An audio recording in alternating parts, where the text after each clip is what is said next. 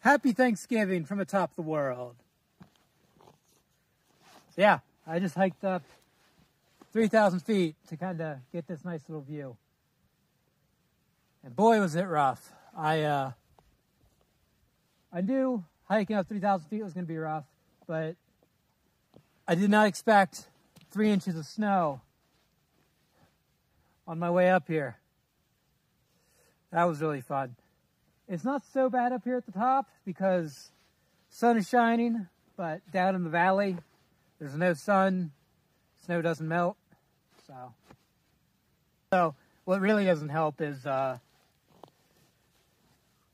you know, like tennis shoes, walking in snow. yeah,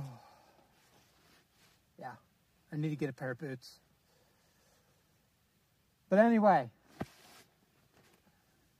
just wanted to say happy Thanksgiving to everybody. Probably no videos today or tomorrow, other than this one.